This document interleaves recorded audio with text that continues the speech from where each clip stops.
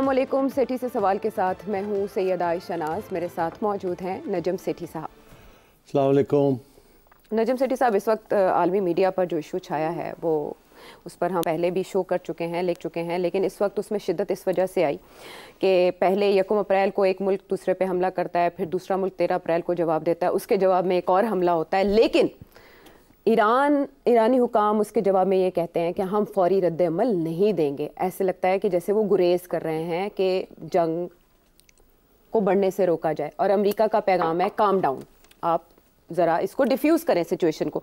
लेकिन इस पे बहुत ज़्यादा शोर आलमी सतह पर इसलिए है कि फिर जो माजी में हमले किए गए, उनका क्या मकसद था?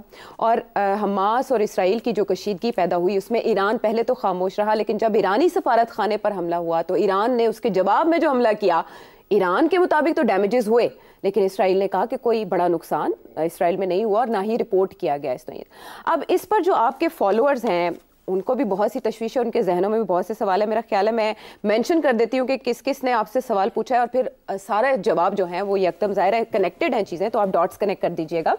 आतिफ मलाज साहब खैरपुर से हैं, उन्होंने कहा है कि फ्यूचर क्या है इस जंग का, इस टेंशन का और वो जो डील सऊदी अरब इसराइल के दरमियान हवा में थी, उसका क्या बनेगा? एम एहसान साहब हरीपुर से, वो भी कुछ जानना चाहते हैं, हमास और इसराइल के हवाले से। आमिर अहमद साहब कैनेडा से, आपसे ये पूछना चाह रहे हैं कि ऐसे लगता है जैसे ये सब मिले हुए आपस में, अमरीका का जिस तरह का रिस्पॉन्स है ईरान के बारे में जैसे मिली भगत होती है। इसके अलावा आमिर अहमद साहब कनाडा से ये जानना चाह रहे हैं कि माजी में तो ईरान और अमरीका शीरो शक्कर होते थे। अब एकदम क्या हुआ? और इसराइल के मामले में भी ईरान का पहले और मौकफ था अब चेंज हो गया। अभी इस वक्त इन अटैक्स के बाद पहला सवाल जो हर एक के जहन में है कि ये जो तनाज़ा है या ये जो आग भड़क रही है चिंगारी ये बढ़ेगी या सिमटेगी इस अटैक के बाद? जी सही कह रही हैं आशा काफ़ी सवाल खड़े हो गए हैं। हम्म। हमने मेरे ख्याल दो तीन हफ़्ते पहले जब ये शुरू हुआ था हम्म। तो इसके ऊपर मैंने तबसरा किया था। अब उसके बाद हमने इसको इसके ऊपर डिस्कशन नहीं की। हम्म, हम्म। मगर पेचीदगियाँ पैदा हो रही हैं। और कुछ ऐसे ऐसे चल रहा है सारा कुछ। फ्लक्चुएट करी सिचुएशन और बहुत से सवाल खड़े हो गए कि एक ये कुछ साजिश थी इसराइल की ये ईरान का कोई लॉन्ग टर्म प्लान था हमास और ईरान मिले हुए हैं कि नहीं मिले हुए इसराइल और अमेरिका मिले हुए हैं कि नहीं मिले हुए। यूके जर्मनी इनकी क्या पोजीशंस हैं? यूक्रेन में जो कॉन्फ्लिक्ट चल रही है उसका इसके साथ कोई तल्लक है या नहीं है? रूस की क्या पोजीशन है? चाइना की क्या पोजीशन है? ऑयल के साथ क्या होगा अगर ये कॉन्फ्लिक्ट जो है बढ़ जाती है? आ, हम्म। अभी ऑयल ऐसे ऐसे हुआ है। हिला है मगर कोई ज़्यादा हम्म। नहीं हुआ। बहुत से सवाल खड़े हो गए मगर सबसे इम्पोर्टेंट सवाल हम्म। वो अभी भी हवा में घूम रहा है कि Iran is a nuclear intention power वो बनना चाहता है न्यूक्लियर पावर इसराइल पहले दिन से इसकी कोशिश है कि इसको रोका जाए। इसीलिए अमेरिका ने इसराइल ने मिलकर ईरान के ऊपर सैंक्शंस लगाए। और उसकी जो न्यूक्लियर प्रोग्राम है उसके ऊपर मॉनिटरिंग कर रहे हैं। हम्म, हम्म। और उसको जो सैंक्शंस हैं उसका ताल्लुक उसकी न्यूक्लियर प्रोग्राम के साथ लगाया हुआ उन्होंने। इसराइल और अमेरिका की ये भी कोशिश है कि ईरान के अंदर रेजीम चेंज हो। कि वहाँ के हुक्म की छुट्टी कराई जाए हुक्मरान की छुट्टी कराई जाए इस्लामिक रजीम ख़त्म की जाए हम्म। और प्रो वेस्टर्न रजीम लाई जाए ये कोई नई बात नहीं है 1951 52 में जब ऑयल का इशू बना था तो उस वक्त भी अमेरिका ने ईरान के अंदर जो एक सोशलिस्ट रजीम थी उसको उड़ा के रख दिया था रजीम चेंज कर दी थी यूके ने और यूएसए ने तो ये ये बिल्कुल मुमकिन है कि ये लंबी सोच के मुताबिक इसराइल और अमेरिका एक्ट कर रहे हैं। मगर मैं जो शुरू करना चाहूँगा यहाँ से हम्म। जिसके ज़रिए आपको एक कॉन्टेक्स्ट पता चल जाएगा फिर आप प्रडिक्शन भी कर सकेंगे। सबसे पहली बात तो ये है कि जो नया राउंड है ये ये जब ये नया राउंड शुरू हुआ है तो ये उसके अंदर कौन सी दो चीज़ें थी जो नज़र आ रही थी कि कोई नई डेवलपमेंट्स होने जा रही हैं? वो क्या थी? जिसकी वजह से कुछ हम जैसे लोगों ने सोचना शुरू कर दिया। कि ये जो नई डेवलपमेंट्स हो रही हैं इसका कोई कॉन्सिक्वेंसेस भी होंगे? इसके बाद क्या होगा? ये क्यों हो रही हैं? हम्म। और वो क्या थी? क्या थी? डेवलपमेंट तो ये थी कि सऊदी अरेबिया और यूएई हम्म। बारेन कुवैत हम्म, कतर बारेन कुवैत ये इनके तलक़ात इसराइल के साथ बढ़ने शुरू हो गए थे। और यहाँ तक बात चल गई थी कि आहिस्ता आहिस्ता ये डिप्लोमेटिक रिकग्निशन की तरफ़ जा रहे हैं इसराइल की। यहाँ पाकिस्तान में भी तबसरे शुरू हो गए कि इसराइलीज़ जो है बड़े कीन है कि सऊदी अरेबिया के ज़रिए अमेरिका के ज़रिए पाकिस्तान पे भी प्रेशर डाला जाए कि अगर इस्लामिक ममालिक ओ आई सी के जो हैं सारे उनमें से जो लीडर्स हैं उनके वो तो तैयार हो गए इसराइल को रिकगनाइज़ करने के लिए या डिप्लोमेटिक रिलेशंस बनाने के लिए। तो पाकिस्तान तो उधर है जिनका तल्लुक भी नहीं है फ़लस्तीन के साथ। इन लोगों का तो है तो ये अगर तैयार हो गए तो तुम कड़े खाते बैठे हो? तुम भी तैयार हो जाओ। बिकॉज़ अगर आप तैयार हो जाते हैं तो इसराइल के जो टिल्ट है टुवर्ड्स इंडिया वो फिर बैलेंस करना पड़ेगा। तो इसके लिए स्ट्रेटिजिक थिंकिंग की भी ज़रूरत है कि अगर इसराइल प्रो इंडिया है तो अगर वो इसराइल को आप इसराइल को आप थोड़ा बहुत रिकग्निशन की तरफ़ जाते हैं तो इसराइल की टिल्ट इंडिया की तरफ़ कम हो जाएगी। वो आपके साथ बैलेंस करना शुरू कर देगा। और अमेरिका और भी आपसे खुश हो जाएगा। तो ये इस किस्म के आर्ग्यूमेंट्स चल रहे थे। आपको याद होगा जनरल मुशरफ के ज़माने में भी खुर्शीद कसूरी साहब जो कि फॉरेन मिनिस्टर थे। उनकी एक मुलाकात हुई थी टर्की के अंदर इसराइली ऑफिशियल्स के साथ भी। कहा यह जाता था कि जी वो एक्सीडेंटल मुलाकात हो गई। वो होटल में आ रहे थे, वो जा रहे थे तो हेलो हेलो आए हो गई। तो सारी गलत बात, ऐसे नहीं होता। सब प्लानिंग के तहत होता है। तो ये चीज़ें एक्सप्लोरेशन चल रही थी। वो दिन और एक अब आखिरी स्टेज ऐसी आई थी कि Israel Saudi Arabia and these other countries I mention U A Bahrain Kuwait ये तैयार हो गए थे। कि इसराइल के साथ आगे बढ़ा जाए उनके एम्बेसडरशिप्स एक्सचेंज की जाएँ थोड़ी बहुत रिकग्निशन हो। इस दुबई वालों ने तो इसराइलीज को इनवाइट किया है कि दुबई में आके प्रॉपर्टी ख़रीदें और इन्वेस्टमेंट्स करें। हम्म। और बड़े डेलीगेशंस आने से जा रहे हैं हम्म, हम्म। और एक तरफ़ से ये हो रहा था। दूसरी तरफ़ जब ये हो रहा था तो ज़ाहिर है एक दूसरी सोच भी थी। कि ये अगर हो गया तो सारा फ़लस्तीन का जो मसला है वो तो लोग भूल जाएँगे। एक दफ़ा ये तजारत शुरू हो गई और आना जाना शुरू हो गया और इसराइल की इन्वेस्टमेंट्स अरब वर्ल्ड में शुरू हो गई तो अरब वर्ल्ड तो भाग जाएगा लड़ाई झगड़े से। हम्म, हम्म। वो तो फिर पैसे की बात आ जाएगी। हम्म, तो इस चीज़ को रोका जाए। अच्छा। इसको होने ना दिया जाए। इसको साबटाज किया जाए। ओके। तो ये दूसरी एक सोच थी। पैरेलल चल रही। पैरेलल चल रही थी। अच्छा अब ये इधर से ये डेवलपमेंट्स हो रही थी उधर से एक सोच थी कि इसको रोका जाए। तो फिर क्या हुआ? फिर एक दिन ये ऐसे हुआ कि एकदम विदाउट वार्निंग हमास की अटैक आ गई इसराइल के ऊपर। हम्म। हम्म? हम्म। उसके दो कॉन्सिक्वेंसेस थे। पहला तो ये था कि ये जो सारी पेशकदमी हो रही थी ये रुक गई। बिल्कुल सबसे पहले हॉल्ट हो गया ना जो सऊदी अरब और वो सारे इनिशिएटिव से सारे रुक गए। होने जा रहा था। उसके बाद जब वो इसराइल ने जो काउंटर अटैक की जी। उसके साथ तो बिल्कुल ही खत्म हो गई ये बात कि अब तो हो ही नहीं हम्म, सकता कुछ। हम्म, हम्म। इसराइल ने तो जेनोसाइड कमिट कर दी। बिल्कुल। अच्छा अब ये सब कुछ हो गया तो सबसे पहले जो मुझे जो सोच आई कि सारी इसराइलीज और अमरीकन और सारा वेस्टर्न मीडिया ये कह रहा है कि इसराइल को तो सरप्राइज़ शॉक अटैक आया ये। ये हमास ने ये क्या शॉक हो गया इसराइली इंटेलिजेंस को पता नहीं चला क्या नहीं पता चला अरे हाँ। भाई ये तो मुमकिन ही नहीं है। इतनी बड़ी स्केल के ऊपर हमास ने जो अटैक की थी लैंड सी पता नहीं क्या क्या उन्होंने कोई चीज़ छोड़ी नहीं। आ, और ये इसका कम अज़ कम साल लग गया होगा इसकी प्लानिंग के अंदर। अब मुझे बताएँ इतनी कॉम्प्लिकेटेड मनूवर इतना वाइड स्प्रेड मनूवर ये इसराइल को पता ही नहीं चला सोया हुआ था इसराइल। इसराइली मोसाद सोई हुई थी। मोसाद ने तो हर जगह पे इन्फिल्ट्रेशन की हुई है। मोसाद की is consider to be even better intelligence agency than C I A तो क्या सी आई ए को नहीं पता चला कि हमास एक साल से तैयारी कर रहा है और किस क्या क्या चीज़ें तैयार कर रहा है? ये हो ही नहीं सकता।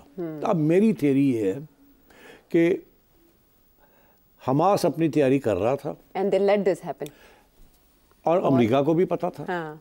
और इसराइल को भी पता था हाँ. कि ये कुछ तैयारियाँ कर रहे हैं हमारा जो ये इनिशिएटिव्स हैं इसको डीरेल करने के लिए। अच्छा। तो इन्होंने सोचा ये मैं आपको बता रहा हूँ कि ये शायद अगर ये हो जाता है हमारा तो नुकसान ज़्यादा नहीं होगा। थोड़ा बहुत होगा मगर हमें एक मौका मिल जाएगा एक चीज़ का। वो मौका हमें मिलेगा कि हम उड़ा के रख देंगे गाज़ा के अंदर फ़लस्तीनियों को। और गाज़ा को फारग कर देंगे। ये जो इसराइल के जैसे कहते हैं ना द हार्ट ऑफ़ इसराइल एक एक एक एक फोर्स बैठी हुई है जिसमें Hamas is popular is Palestine. ये फ़लस्टाइन का मसला ही ख़त्म करें हम। इस अटैक जब आएगी तो इसको कहेंगे कि टेररिस्ट अटैक इसराइल की मौजूदगी के ऊपर वजूद के ऊपर ये अटैक आई है। सारी दुनिया जो है हमास को कंडेम करेगी। इसको हम कहेंगे टेररिस्ट अटैक।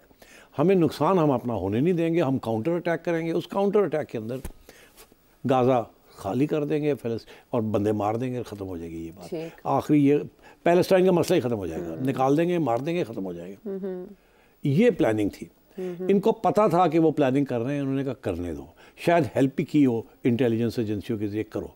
और तैयारी इनकी पूरी थी कि कोई क्या कर सकता है हमास तो इन्होंने अलाउ किया कि वो हो जाए ताकि इनको मौका मिल जाए कि ये रिमेनिंग जो पट्टी रहती है वो जो है उसको भी खाली करा हाँ। दें। और सेट ये इशू ही खत्म कर दें हाँ। वो एक दफ़ा हो ही गई खत्म टू स्टेट सोल्यूशन फारग। ठीक? हम्म। दूसरा कि जब इसराइल ने ये सोचा कि और अमेरिका ने कि जब हम ये करेंगे तो ज़ाहिर है फिर रिएक्शन आएगा। हम्म। ज़ाहिर है कहाँ से कहाँ से आएगा? वो यूके से तो नहीं आएगा। यूएसए हम्म। तो नहीं आएगा। नहीं आएगा। वो रिएक्शन आएगा ईरान से। रिएक्शन हम्म। आएगा लेबनान से। रिएक्शन। आएगा सीरिया से। जहाँ फैलस्तीनियंस और एंटी इसराइल लॉबीज़ हैं। राइट जहाँ हिजबुल्ला है और दूसरे ग्रुप्स हैं। वहाँ से आएगा। तो ये तो बड़ी अच्छी बात है। एक और मौका मिल जाएगा हमें। कि हम इनको भी अटैक करें बिकॉज़ सिग्निफिकेंट नहीं है। और मोस्ट इंपॉर्टेंट कि ईरान भी प्रवोक हो जाएगा। क्योंकि ईरान भी हेल्प कर रहा है। प्रॉक्सीज के ज़रिए प्रॉक्सीज के ज़रिए। सारी इशू यही था ना वो जो जर्नैल को मारा था। उसी ने तो सारी ये प्रॉक्सीज बनाई थी। हम्म। अब अगर उसको मार दिया और अगर प्रॉक्सी ज़िंदा है तो ये अच्छा मौका है। प्रॉक्सीज को भी अटैक करो क्योंकि आपके ऊपर अटैक हुई है हम्म। और ईरान को भी कर दो। एक तीर से कई शिकार। एक तीर से कई शिकार। हम्म। इस प्लान के तहत इन्होंने कहा करने दो हमास को कर किया उन्होंने इन्होंने जो कुछ किया वो आपके सामने है right. इन्होंने हर जगह पे वही किया जो इनका प्लान था hmm. जहाँ मिस कैलकुलेशन हो गई मिस कैलकुलेशन होती है ना हाँ. जिसे हम अंग्रेज़ी में कहते हैं अनफोर्सिन कॉन्सिक्वेंसेस okay. या अन इन या अनइंटेंडेड कॉन्सिक्वेंसेस कि आप कुछ एक्शन लेते हैं आप सोचते हैं इसका ये होगा ये होगा मगर कभी कभी कुछ ऐसी चीज़ भी हो जाती है जो आपने पहले देखी नहीं होती इसमें क्या हुआ इसमें दो चीज़ें हुई एक ये कि रेजिस्टेंस जो आई from the from Hamas okay. Other other groups वो बड़ी स्ट्रांग थी. दूसरी चीज़ ये कि इतनी रेजिस्टेंस आई जब इसराइल ने अटैक किया काउंटर अटैक किया दूसरी चीज़ ये थी कि जो वेस्टर्न कैपिटल्स थे. वहाँ अब इसराइल ने ये वर्कआउट नहीं किया था उनका ख्याल था कि सारी उम्र हमें इसराइल को तो प्रोटेक्ट करते रहे mm. ये नहीं पता था कि वहाँ भी जैसे पाकिस्तान के अंदर डेमोग्राफिक चेंज आया कि हमारी भी पचास फ़ीसद से पॉपुलेशन जो है वो पैंतीस साल अठारह और पैंतीस साल की उम्र में है। हम्म। उनके कॉन्सेप्ट ही फ़र्क है। उन्होंने वो प्रोपागेंडा वो सारा कुछ जो है उस तरीके से नहीं अपनाया हुआ जिस तरीके से पुरानी जनरेशन ने किया है जिनको होलोकॉस्ट याद है या जिनको प्रोसिक्यूशन ऑफ़ जूज याद है। ये वो लोग हैं जो कि फ्रीडम और आज़ादी में यकीन हम्म, करते हैं रेजिस्टेंस हम्म, में यकीन करते हैं। यंग पीपल ने जो रिएक्शन किया है in the western world Arab world में तो होना ही था hmm. मगर वेस्टर्न वर्ल्ड में जो जर्मनी में आयरलैंड में yeah. ग्रीस में hmm. जापान में हर जगह पे यूनाइटेड स्टेट्स में इनका ख्याल था कि ये इतना नहीं होगा बिकॉज़ इसराइल की लॉबीज बड़ी स्ट्रांग है yes. बड़ा पैसा खर्च कर hmm. मगर हर जगह पे रिएक्शन आना शुरू हो गया hmm. शुरू में ये रिएक्शन इन्होंने इसराइल ने कोशिश की इस रिएक्शन को कहा जाए कि ये हमास टेररिस्ट है वो रिएक्शन करें आप अच्छा। Hamas is a terrorist Hamas is terrorist इसीलिए उन्होंने हार्वर्ड प्रिंसटन और वो जो उधर यूनिवर्सिटीज़ हैं उनके रेक्टर्स और उनके डीन्स को फारग किया क्योंकि वो हमास को कंडेम करने से कतरा रहे थे hmm. तो इन्होंने कहा कि उन्होंने नहीं किया इनको निकालो इतना काउंटर ऑफेंसिव इसराइल ने किया अच्छा। कि हमास को कंडेम करो हमास को कंडेम करो ओके okay. वो जब इसराइल ने वो इस्तेमाल करके जो अब पुश किया है जिसमें बॉम्बिंग अस्पतालों की कर दी बच्चों को मार दिया हाँ। पैंतीस हज़ार खातन बच्चे इनोसेंट सिविलियंस को मार दिया हम्म। जो कॉम्बिटेंट्स नहीं है उसका जो रिएक्शन आया है हम्म। दुनिया में वो इसराइल ने सोचा नहीं था कि ये होगा हम्म, उसका ख्याल था कि फ़र्क कर दें वो रिएक्शन ऐसा आया कि हकूमतें जो हैं इन मुल्कों के अंदर अंडर प्रेशर आ गई। Yes, प्रोटेस्ट कि ये कि इसराइल को ऐसे क्यों सपोर्ट कर रहे हैं? हम्म। और लफज जेनोसाइड जो है वो एक ज़माने में कोई बंदा कहता था कि वहाँ जेनोसाइड हो रहा है तो सोचा जाता था कि सोमालिया में हो रही है हम्म। या सूडान में हो रही है। हम्म। ये वेस्टर्न नेशंस और इन इन इन जगह पे कभी जेनोसाइड का कॉन्सेप्ट ही नहीं था। ये पहली दफ़ा जेनोसाइड का जो लफज है wiping out an entire population नस्ल। कुशी नस्ल ये अब वेस्टर्न वोकेबलरी में यंग पीपल की वोकेबलरी में आ गया और प्रो इसराइल लोग भी जो है वो भी घबरा गए कि यार ये क्या हुआ है तो उल्टे गले पड़ गए हम्म। इसकी वजह से फिर रीथिंकिंग करनी पड़ गई अच्छा फिर फिर वो जो रीथिंकिंग हो रही है okay. उसके अंदर ये जो अब लेटेस्ट डेवलपमेंट है हम्म। वो ये है कि इसराइल ने फिर सोचा कि यार ये तो उल्टा हो गया हम्म। तो हमारे गले पड़ गई है हमने तो निकाला था सोचा था कि हमारे हक में सारा कुछ होगा मगर यहाँ तो उनके हक में जाना शुरू हो गया। सारी पॉपुलेशन हमारे खिलाफ होनी शुरू हो गई। पब्लिक ओपिनियन कहीं और जा रहा है गवर्नमेंट्स कुछ और सोच रही तो इवन जो बाइडन जो है वो भी अंडर प्रेशर आ अंडर प्रेशर आके बेचारे अवॉइड कर रहे हैं। वो कुछ नहीं कहना चाहता वो कहता है कि हमसे सपोर्ट तो करना है इसराइल को। हाँ। मगर कैसे? अब कह रहे काम डाउन अब काम डाउन तो हाँ। अमेरिका जो उसका बेस्ट फ्रेंड था हम्म। वो पीछे हट गया। हम्म। यार ये क्या हो गया? ये तो ये तो सोचा ही नहीं था कि ये भी होगा। इतनी जल्दी होगा। इसराइल इतनी मगरूरियत में जो उसने घमंड था ताकत हाँ उसने जो किया है वहाँ वो अब दुनिया उसको रिजेक्ट कर दिया। इस स्टेज पे इसराइल ने सोचा अब सारा टेंशन हमास से हट के गाजा और इसराइल पे आ गया। फोकस उधर हो गया ना। बिल्कुल। तो उन्होंने कहा कि अब कुछ करना चाहिए। तो उन्होंने सोचा टेंशन डाइवर्ट करने के लिए ईरान को प्रवोक करो। ये हमास के साथ काम नहीं बना। ईरान के खिलाफ सारी दुनिया है। हाँ। वो न्यूक्लियर इशू भी है वहाँ। हम्म। और सब कहते हैं कि वो टेररिस्ट हैं। और हम्म। वहाँ ईरानियन के अंदर भी बड़ी रिप्रेशन है डिक्टेटरशिप है। हम्म। इधर चलो। उन्होंने फिर सोचा कि ईरान के ऊपर डायरेक्ट अटैक अभी नहीं करते इनडायरेक्ट अटैक करते हैं। उनकी एम्बेसी डोमेस्कस में। वहाँ उसको अटैक करते हैं क्योंकि वो टेरिटरी ईरान की है। हर एम्बेसी जो होती है वो उस मुल्क की टेरिटरी होती है। हाँ। तो an attack on an embassy is an attack on the country तो उन्होंने सोच समझ के अटेंशन डाइवर्ट करने के लिए ईरान के ऊपर फोकस करने के लिए क्योंकि उनको पता है कि सारी दुनिया ईरान के खिलाफ है। Islamic hmm. कंट्री ना रेजीम है। हम्म। उन्होंने उसको अटैक किया। अब उसके बाद ईरान ने सोचा अब हम क्या करें? हम्म। ईरान तो दूर से बैठा हुआ था। अगर हेल्प कर रहा था तो बिहाइंड द सीन्स हेल्प कर रहा था हमास वगैरह की और प्रॉक्सीज की। डायरेक्ट तो वो इन्वॉल्व नहीं होना चाह रहा था। हम्म। तो अब क्या हुआ कि क्योंकि इसराइल ने ईरान को अटैक कर दिया। हम्म, छेड़ दिया। छेड़ दिया। हम्म। जान के, के अब करो कुछ। अब वो ज़ाहिर है उनको तो कुछ करना है जैसे जवाब तो देना है जवाब दो मिसाइल पाओगे तो दो अस्सी पा देंगे। ये तो फिर करना पड़ता है। जैसे पाकिस्तान के साथ पंगा लिया ईरान ने तो जवाब पाकिस्तान को देना हालाँकि वो कोई इशू नहीं था मगर वो हाँ।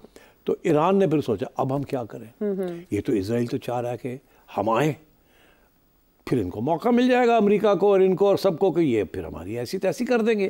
हम हम तो जंग में नहीं जाना चाहते मगर हमने अपनी इज़्ज़त भी रखनी है अपना ऑनर भी रखना है। अब क्या किया जाए? तो सोचा ये कि चलो फिर हमें भी कुछ करना पड़ेगा। क्या प्लान बनाया? ईरान ने ये प्लान बनाया कि कोई ड्रामा करते।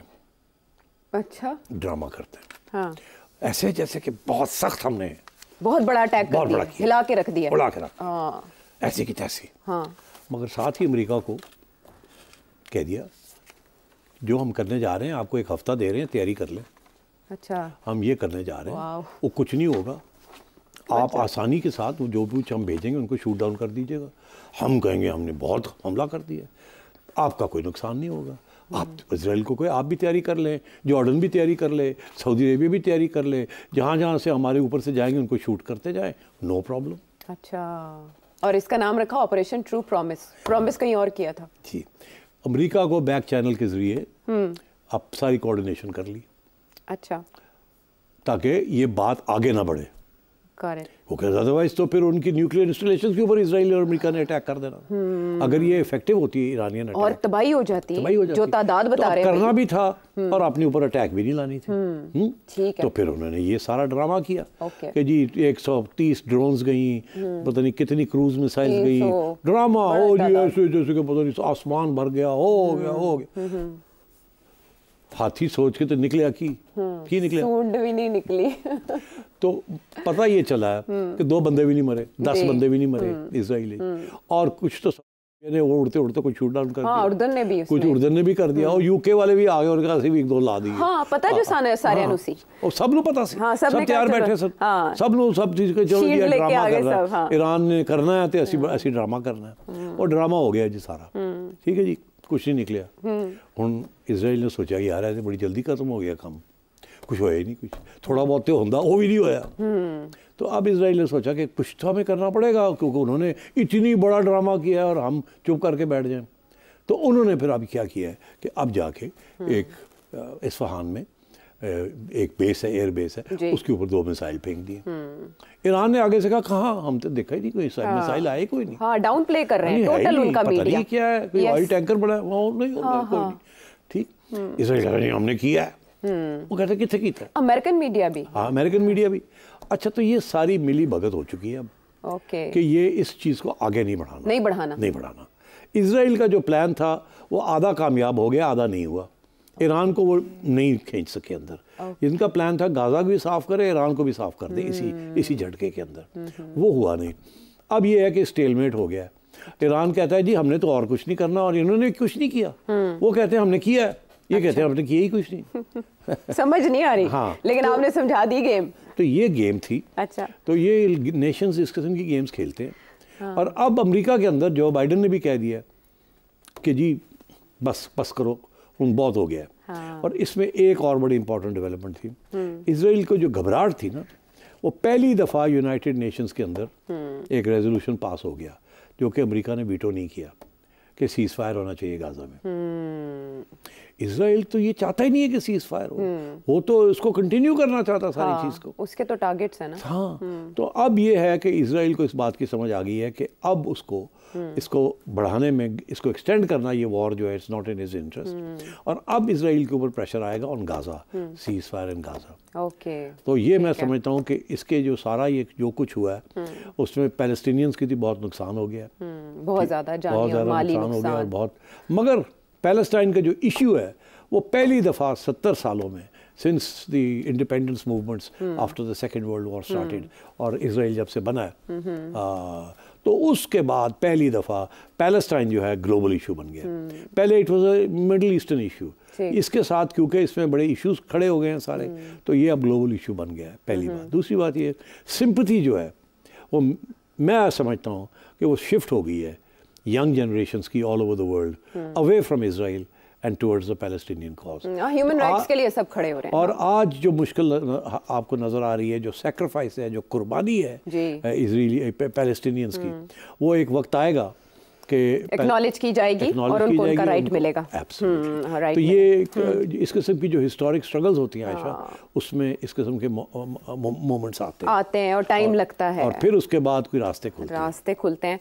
और ठीक है वो ये मामला फैला क्यों और आग से दोनों मुल्क खेल रहे हैं तो वो कहाँ जाके सिमटेगा? ये तो आपने एक्सप्लेन कर लिया। जेनोसाइड का आपने जब वर्ड आप बात कर रहे थे तो न्यूयॉर्क टाइम्स का एक मेमो लीक हुआ है जिसमें उन्हें कहा गया कि आप अवॉइड करें जेनोसाइड का वर्ड यूज़ करने से। अमेरिका ये कर रहा है क्योंकि वहाँ पर जो बाइडन को इलेक्शन में अपनी हार का खदशा भी है। उधर नेतन को करप्शन एलिगेशन का सामना है। देखिए डोमेस्टिक पॉलिटिक्स किस तरह से इंटरनेशनल पॉलिटिक्स से लिंक करते हैं। अब आप बताएँ मुझे पाकिस्तानी पाकिस्तान भी तो एक अहम फरीक है सारे हम्म। तनाजे में। कोई स्टेटमेंट अभी तक हमें ऐसी दिखाई नहीं दी जो किसी एक की फेवर में जाती हो, पाकिस्तान ने अवॉइड किया तबसरा करने से। लेकिन ईरानी प्रेसिडेंट आ रहे हैं, कहा जा रहा है पुराना शेड्यूल था। फिर सऊदी अरब का डेलीगेशन यहाँ से होके गया।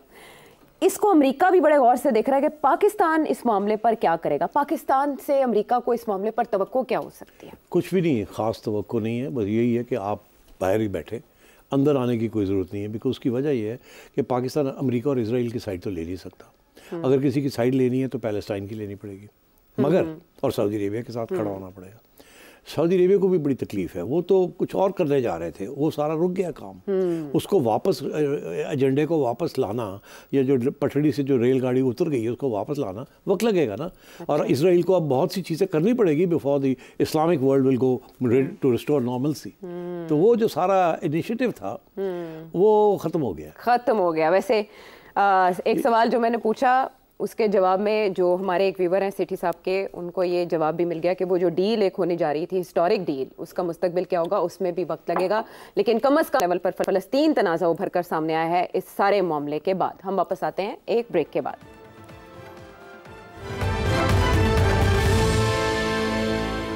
वेलकम बैक बहुत से मामला में क्लैरिटी की बहुत ज़रूरत होती है और वो पहले चंक में जो हमने एक ग्लोबल इशू डिस्कस किया, उसमें बहुत से सवालों के जवाब हमें मिल गए। लेकिन पाकिस्तान की इकोनॉमी एक और इकोनॉमी एक और बड़ा मसला है जिस पर आपका एनालिसिस दरकार होगा। ऐसे में जब पाकिस्तान की इकोनॉमी के बारे में कहा जा रहा है कि कुछ अच्छा परफॉर्म करना शुरू हुई है, सख्त फैसले लिए, आवाम के ऊपर ही बोझ आया।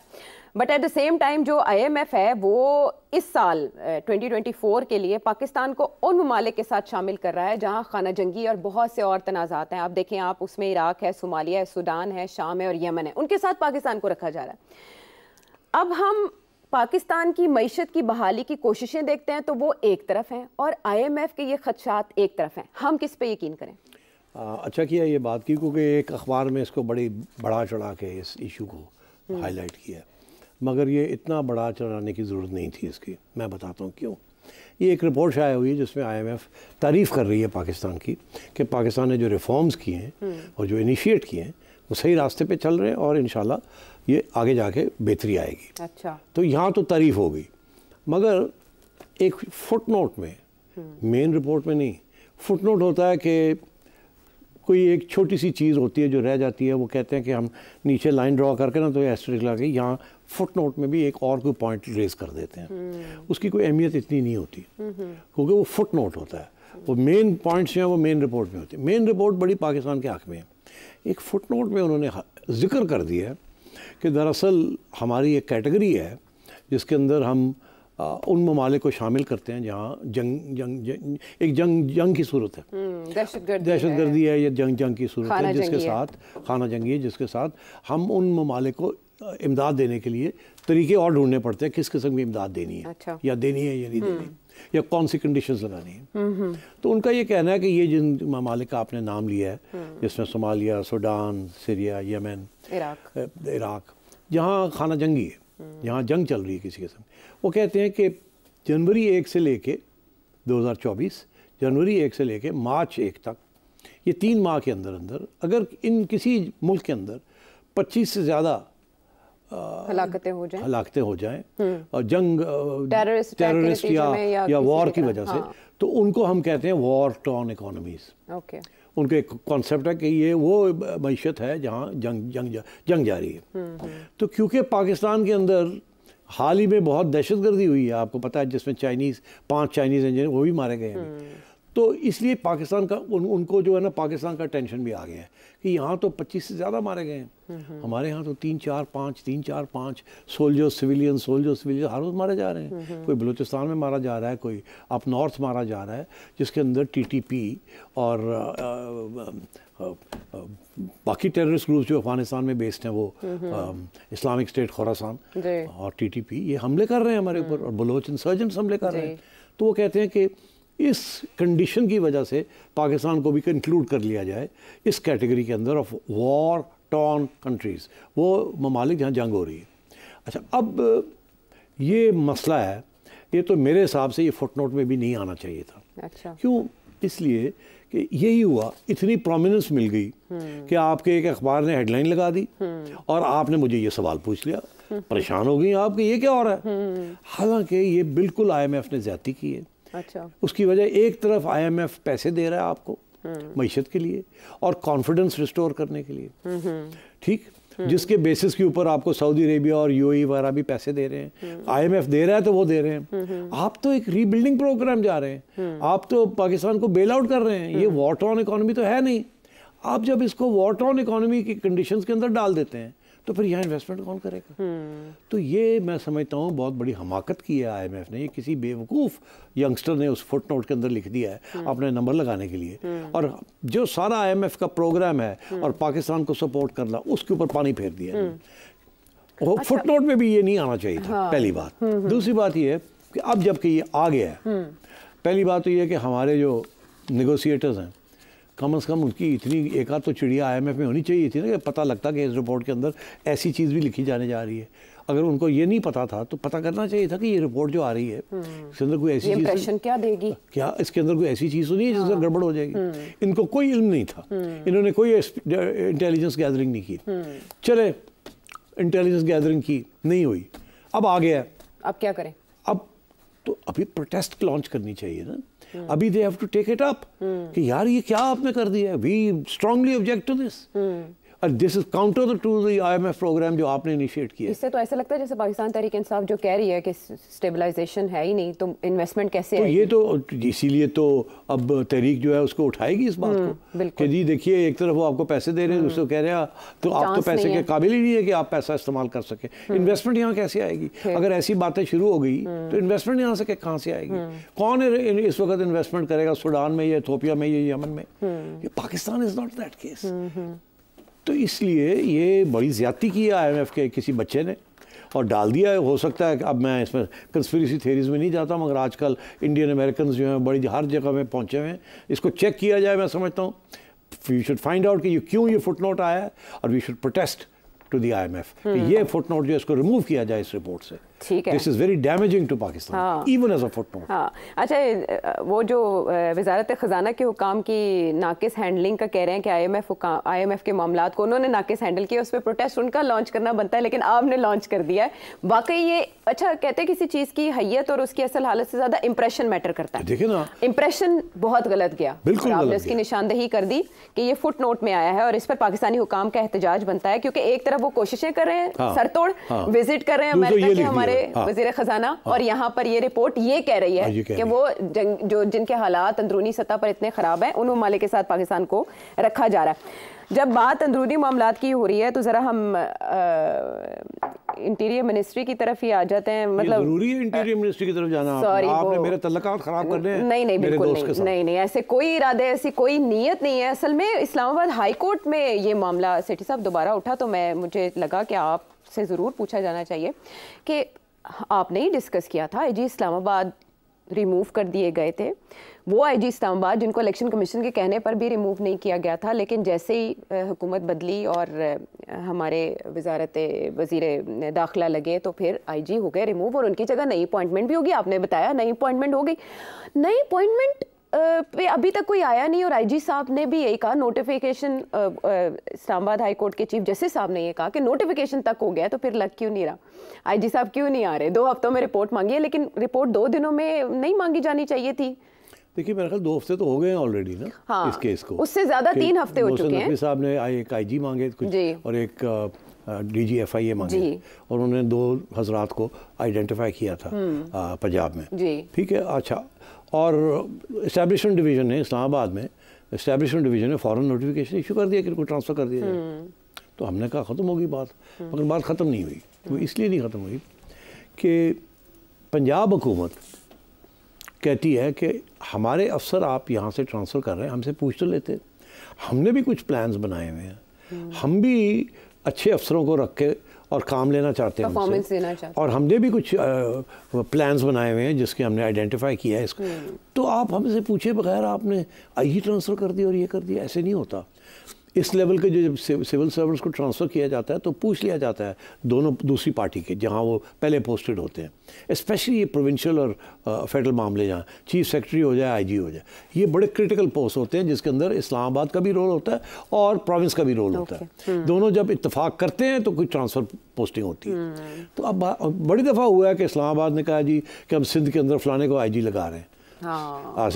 नो सर ऐसे मैं ऐसे नहीं होगा। ऐसे नहीं लगावांगे ऐसे एनो लगावांगे। हाँ, फिर लड़ाई झगड़े होते हैं फिर अच्छा जी लगा लें आप। हम्म, ऐसे ही होता है। तो ये इस्तीफा उन्होंने पूछे बगैर हम्म। ये कर दिया। अच्छा अब क्यों किया? इस्टेब्लिशमेंट डिवीज़न ने शबाज शरीफ साहब ने कहा कर दो हम्म। क्यों? मोहसिन नकवी साहब ने पूछा मोहसिन नकवी साहब आजकल जिस किस्म की बातें हो रही हैं और मैं अब क्या दोहराऊँ? हो रही है ना जो हो रही हैं। तो इसलिए शबाज साहब ने कहा और मैं उनकी करा कर दो। चाहिए था कि ज़रा मरियम से पूछ लेते। After all she is chief minister उनकी भी तो एक हैसियत है।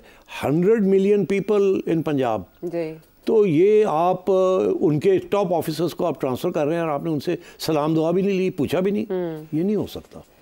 होना भी नहीं चाहिए। इट डजेंट मैटर कि अंकल वहाँ है और नीस यहाँ है। डजेंट मैटर हाँ लेकिन डिफरेंट डिफरेंट इंटरेस्ट हैं। हम्म। वो फेडरल गवर्नमेंट के इंटरेस्ट और हैं और प्रोविंशियल गवर्नमेंट के इंटरेस्ट और हैं। देखिए फेडरल गवर्नमेंट इस वक्त आईएमएफ प्रोग्राम कर रही है। बड़ा अनपॉपुलर प्रोग्राम प्रोविंशियल गवर्नमेंट के ऊपर ऐसा कोई प्रेशर नहीं है आयशा। प्रोविंशियल गवर्नमेंट के पास पैसे आ गए हैं। जो आने से नेशनल फाइनेंस कमीशन अवार्ड से। हम्म।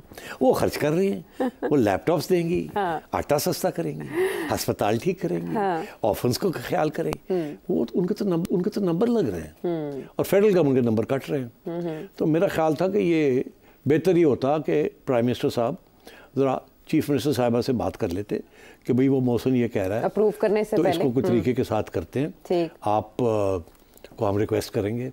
तो फिर आप उसको देख लीजिएगा। तो फिर मौसम से भी बात कर लीजिएगा तो अच्छा। तो एक आध बंदा दे दें उनको हाँ। और फिर जो आप चाहेंगे इधर कर लेंगे ऐसे किया नहीं हम्म। जल्दी में कर दिया पंजाब गवर्नमेंट के अंदर सारे सिविल सर्वेंट्स जो हैं वो खड़े हो गए एक ही गल हुई जोड़ा आंदा उन्हें चुके इधर मारो तो इधर मारो। अब मरियम अपनी एक टीम बना रही है ना यहाँ हम्म।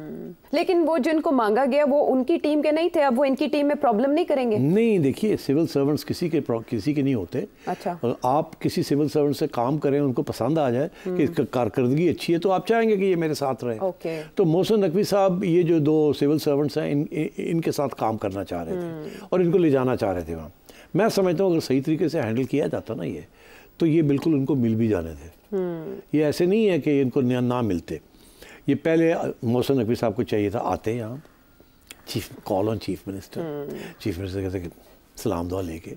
मेरे लायक को खिदमत को प्रॉब्लम है मुझे ये दो लड़के मुझे चाहिए तो अगर आप इजाज़त दें तो इनको। मैं इस्टेब्लिशमेंट डिवीज़न को कह के ट्रांसफ़र करा लूँ क्या कहना था मरियम? ने हाँ खुश असलूबी से हो जाता हाँ, तो। हाँ क्यों नहीं क्यों नहीं? पहले भी मुलाकात हुई चाहिए आपको अच्छा मैं देखती हूँ मेरा ख्याल है हमने उनको कोई स्पेशल काम तो नहीं दिया हुआ। तो हो भी तो वील अकोमोडेट यू ऐसी क्या बात है कोई हाँ, बात नहीं। हाँ तो ये होता है। मगर उन्होंने जाके अनाउंस कर दिया कि मैंने दो मांग लिए हैं इधर और उधर से जल्दी से फेडरल गवर्नमेंट का दे दो दे दो दे दो मरियम ने कहा कि ऐसे तो नहीं होना चाहिए ना। हाँ। तो मेरा ख्याल है मरियम इज़ राइट ये मिस हैंडलिंग हुई है बाय मोहसिन नकवी साहब एंड बाय प्राइम मिनिस्टर साहब। मैं साफ़ हम्म। बात कर रहा हूँ। हम्म। ये इसकी ज़रूरत नहीं थी। ये एक टीम है एक ही टीम रहनी चाहिए। मगर चीफ मिनिस्टर चीफ मिनिस्टर होता है और वो भी पंजाब का। हाँ। ये करके तो देखें सिंध के साथ। हाँ। तो पता लगेगा मुराद कि मुराद अली शाह और भुट्टो साहब क्या करेंगे वो स्टैंड कैसे लेते हैं? तो ये ना ऐसे करें डोंट टेक तो अब ये टसल कहाँ रुकेगी? ऑल्टरनेट आएँगे या यही अब देखिए ना उन्होंने कह दिया ना कि हाई कोर्ट ने हम्म, कि आई जी साहब लगाए। मगर देखे ना हाई कोर्ट भी तो बड़ा तेज है ना। हम्म, दो हफ़्ते दे दिए जी दो दिन नहीं दिए आयशा। नहीं मेरे का दो दिन का काम कर हाँ, लेते हैं एक दिन का काम है। हाँ। तो अब तरीका इसका यही है कि मोहसिन नबी साहब अपने घोड़े से उतरे अच्छा। और आए यहाँ हम्म। और चीफ मिनिस्टर साहबा के पास जाएँ हम्म। सलाम दुआ लें और कोई इसका हल निकालें कि वो दो नहीं तो फिर और कोई दो हम्म। ताकि ये वो कह सके मुझे ये मिल गए हैं वो नहीं मिले और वो कह सके वो हमने नहीं दिए मगर ये दे दिए ताकि ये मामला ख़त्म हो। मगर इसके लिए प्राइम मिनिस्टर साहब बाहर बैठे मोहसिन नकवी साहब और मरियम बीबी बैठ के इस चीज़ को तय करें। It's not looking good okay. ये नहीं होना चाहिए। हाँ, ठीक है ठीक है। It's not in a good taste देखते हैं कब जाके कहाँ जाके ये मामला सॉल्व होता है और कौन करता है सरेंडर वापस आते हैं ब्रेक के बाद।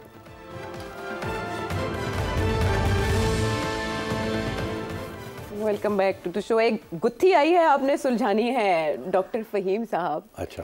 कोट अद्दू से एक टेक्निकल क्वेश्चन पूछ रहे हैं पाकिस्तान की इकोनॉमी से मुतालिक। हम्म। जी। आपने फरमाया कि पाकिस्तान में थर्टी बिलियन की रिमिटेंस है ओवरसीज पाकिस्तानी से पाकिस्तान की तरफ़। जब थर्टी बिलियन डॉलर एक साल में गवर्नमेंट ऑफ़ पाकिस्तान को रिमिटेंस से मिलते हैं तो ये फिर एक एक अरब डॉलर और हाफ़ अरब डॉलर के लिए ये आईएमएफ वर्ल्ड बैंक के तलवे क्यों चाटता है? दसो। बड़ा अच्छा सवाल है जी मगर आसान जवाब है। पाकिस्तान की इम्पोर्ट्स जो हैं इम्पोर्ट्स जो हैं वो कोई सत्तर बिलियन डॉलर के करीब हैं ज़्यादा उससे। पाकिस्तान की जो एक्सपोर्ट्स है वो तीस बिलियन डॉलर तो एक गैप आ गया चालीस बिलियन ये हम्म। कहाँ से आएँगे? उसमें से जैसे आपने ज़िक्र किया कुछ तीस इकतीस बिलियन रेमिटेंसेस से आ जाते हैं। फिर भी आठ नौ बिलियन रह गया। वो कहाँ से आएँगे? पहली बात। उसके अलावा ये सिर्फ़ इंपोर्ट्स को फाइनेंस करने के लिए उसके अलावा आपने जो डेट सर्विसिंग करनी है जो लोगों के पैसे देने हैं आउटसाइड द कंट्री वो भी सात आठ बिलियन डॉलर है पर ईयर चाइना वाले हैं आईपीपीस की पेमेंट्स करनी है वगैरह वगैरह।